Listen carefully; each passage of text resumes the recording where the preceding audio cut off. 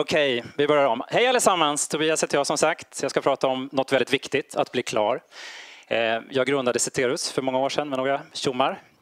Och eh, för att sätta det här lite i kontext så ska vi kolla på en liten skala eh, där vi ser små system till vänster, små hack och prototyper, små projekt.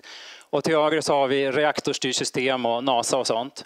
Det jag pratar om idag, det appliceras framförallt längst ner till vänster. Och det är en programmerare, en hantverkares perspektiv på att bli klar som jag kommer presentera. Jag vill att ni som sitter här, som sitter i något större projekt, ändå tar med er lite av det här. För att ha ett maniskt, sinnessjukt bli klar-fokus har man nytta av även i större projekt. När jag är ute i projekt så ser jag ofta eh, lite olika färdigheter. Det är väldigt många som är duktiga på att bygga saker. Eh, det är inte lika många, tycker jag, som är duktiga på idébiten eller som vågar stå för en idé. Utan det finns något hämmande kring idéer som gör att det inte är lika många som säger det här ska vi köra och det här tror jag på, det här tål att nötas och jobba vidare på. Eh, och att ha ett maniskt bli klar-fokus, det är inte heller lika vanligt. Jag råkar själv vara på ytterligheten här. Jag hittar på saker och jag gör klart dem. Jag är inte jättebra på att bygga saker.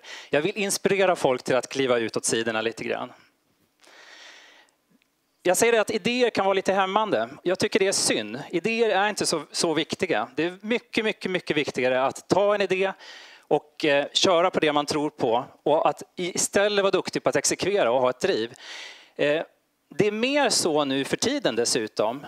Och det har att göra med att vi eh, på den här jorden, 6-7 miljarder någonting, vi får samma stimuli ungefär samtidigt idag på grund av internet och Instagram och allt vad det heter. Då är det inte så himla underligt att vi får samma respons i vår lilla proteinklump här uppe. Så att får du en idé och känner att det här är en bra idé så är det förmodligen tusen andra som har den idén i samma stund. Så det enda som skiljer det är er förmåga att ta den här idén, springa med den, bli klar och på vilket sätt ni blir klar på. Att tänka är stort, att göra är större, att bli klar är störst. Så brukar jag tänka ibland. Tidigare jobbade jag lite så här. Jag fick en idé, jag planerade lite grann. Jag jobbade, jag blev klar. Jag planerade lite grann, jag jobbade och så vidare. Det här är inte ett vattenfall. Det jag menar med planera här, det är att tänka vilket API, hur ska jag lägga upp mitt API? Hur ska jag separera de här bitarna? Jag har faktiskt försökt sluta göra så här också. Jag vill jobba precis hela tiden. Jag tänker med händerna på tangentbordet. Okej? Okay? Jag får mer gjort på det här sättet. Jag gör inte världens bästa mjukvara med det här, men jag testar min idé långt, långt tidigare. Det här är lite som att skissa. Om jag har min idé så vet jag ungefär att jag kommer behöva ett par ögon, en näsa, en mun. Och jag kan fylla i, jag kan sudda ut eller refakturera som vi säger. För att på något sätt ändå tuna in mot det som jag vill ha. Eller som en progressiv JPEG, där jag har ett problem. Det är lite som att jag närmar mig problemet svep för svep. Jag börjar med de stora strukturerna och så går jag in, närmar mig problemet och till slut så har vi problemet i svart och vitt.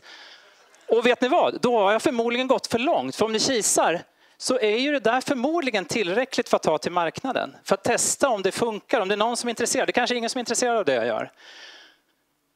Det här kanske inte klarar en miljon användare eller hundratusen eller hundra ens. Det spelar ingen roll. Det kan vara tillräckligt för att få ett feedback. Och då kommer vi in på det här med scope. Bästa sättet att bli klar är att skära ner scope till noll, då är man ju färdig direkt. Men å andra sidan så har man inget att ta till marknaden då. Så att ofta hamnar man i det här, okej okay, jag vill göra någonting, jag, jag kokar ner det här till en MVP. En minimal viable product. Det här är det minsta jag kan tänka mig att ha ett värde på marknaden. Men jag utmanar er även här. Ta den listan och klipp den i två eller stryk varannan rad eller så. Och så hamnar man kanske mer i något jag skulle kalla för en pympo. A product you're not proud of. Det är strax ovanför din yrkesstolthet. Och faktum är att jag har varit här några gånger och ändå hamnat i den där. The product you managed to get out. Det är under min yrkesstolthet, men jag får ut den och så känner jag, får jag reda på om någon bryr sig.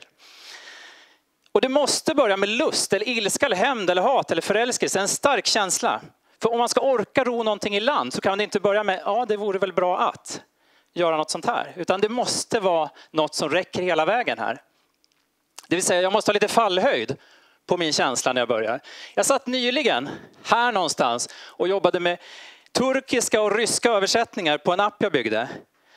Och all, Gud sprack förstås, för det är ganska versalt eh, alfabet. I alla fall det ryska. Och eh, jag hade aldrig pallat om jag inte hade börjat med en känsla av att det här är kul, jag vill göra det här. Och det är nästa, ett system är nästan klart hur länge som helst, så, så man måste börja med, med, med en stark kraft. Liksom. Man måste lura sig själv att ha en bibehållen lust i det man gör. Man ska fira de små steg man tar. Man hackar upp det man gör i en pyttipanna stort sett. Och för varenda liten bit jag committar så klappar jag mig själv på axeln och tar en espresso och magen mår illa i sig efter ett tag. Man tänker klar, klar, klar, done, commit, jag är klar, jag är klar. Och i drift, vad skönt, va? Fantastiskt. Och innan jag fyller min backlog kanske jag ska komma ihåg det att jag lägger till något till den, men det kanske inte är så att det blir proportionerligt lika mycket större. Och det gäller i synnerhet det vi jobbar med. Det vill säga kodmassan ökar. Kunskapen som jag, mina kollegor och min kund så småningom måste ha om det här systemet ökar, eller kraven jag ställer. Och den kognitiva lasten som ställs på mitt team och på de som ska använda det här. Konsekvensen av det här då? Ja, det är ju faktiskt att man måste våga säga nej också. Man måste våga definiera sin idé från vad den inte ska göra, eller sin produkt eller sitt projekt. Det här det är en fantastisk produkt tycker jag. Men ärligt talat, vad hände här? I don't know. Så en duktig produktägare vet faktiskt eh, värdet i att skära i sin, i sin backlog och förstå att det här är, det hör inte till det vi ska göra. Vi tar bort det här. Det låter som en kul idé, men det kostar också. Som utvecklare så är det så här också att eh, jag, jag, tycker att man ska använda ett, ett, ska vi säga, en inställning som jag skulle vilja kalla för spike and stabilize i första versionen så ska man inte bygga någonting som är skalbart, fantastiskt skalbart, som har massa admin, massa metafunktionalitet. Man kan kolla i loggar, man kan kolla i databasen. Man kanske inte ens behöver en databas i första versionen. Som är fenomenalt designat. Eller, håll i er, som har massiv testtäckning. Det behövs inte. Man bygger något som man orkar dra i land. Och de bästa utvecklarna vet faktiskt vilka genvägar man tar. Fastna inte i detaljer. Vilken färg ska vi ha? Är det här verkligen rätt formulering? Och nu kommer det viktigaste. Ta ett beslut. Det är faktiskt inte hela världen om det blir fel där du bestämmer och rulla vidare. Och det här som står i parentes faktiskt, gör det här till rutin. Det är jätteviktigt. Begränsningar är också din bästa vän. Jag har vänner som säger så här, åh, hade jag låt säga en vecka så skulle jag få det här gjort. Och jag säger nej, det är timmen innan du hämtar på, på, på förskolan som du får det här gjort. Det vill säga öar av tid. Ont om pengar, det är fantastiskt. Du kan inte bygga ett monster, du kan inte hålla på hur länge som helst om du har lite pengar.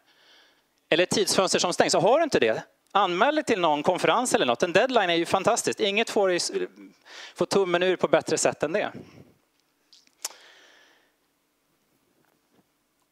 Man måste lära sig känna igen det som rycker en ur fokus. Twitter, e-mail, Facebook, vänner, familj, barn, tv-serier, spel, möten, mm, konferenser. Och eh, det är faktiskt så att det här är liksom kanske självupptaget, men, eller klarupptaget kan vi kalla det. Varför inte? Ett tag kan vi stänga av det här. Vi säger att jag behöver den här förmiddagen, jag måste bli klar. Och lär dig känna igen det som bromsar. Kan vi ta ett möte om det här också? Det här blir inte snygg kod. Känner man inte vinden i håret så är det inte roligt. Man måste känna vinden i håret i sitt projekt. Återigen, ta ett beslut. Gör det här till rutin. Ta ett beslut med fingrarna på tangentbordet. Framförallt, lär dig känna igen onödig elegans. Kanske vi kan lösa det med reflektion istället. Tänker att vi tar höjd för detta genom att, eller den här, borde vi inte kunna göra en generell? Hallå, copy and paste will do säger jag. Det duger till en första version. Det här är, det här är ord som man ska rygga tillbaks på om man är tidigt i, i sitt projekt och system. En sak i taget naturligtvis, isolera, gör. Eh, se till att ni får en förmiddag eller en timme till bara en sak, inget annat i team, små team förstås, inget underligt. Men välj att jobba med dem som pressar dig att bli klar. Om du har två att välja på, en som säger som är erfaren men säger det beror på, eller någon som säger jag vet inte men vi provar. Jag skulle tio gånger av tio välja den som säger vi provar. För att det här ska funka så ska man ha en stark vision om man jobbar i team. Man måste börja med en ganska detaljerad tanke kring vad vi ska bygga. Sen måste man öva upp sitt samspelthet och sitt gehör. Och det gör man genom mobbprogrammering, Eh, parprogrammering, code reviews, sitta nära varandra, prata med varandra. Med händerna på tangentbordet förstås. Det här är för övrigt Chicoria och en ståbasist som jag inte kommer ihåg. De tittar på varandra när de spelar. Det skulle kunna vara så här, eller hur? Knäckfrågan är ju, vill du det här? Vill du verkligen bli klar? Det finns ju de som tycker om idéonani, men vill du bli klar, då är det bara kör, gör och fokusera på det.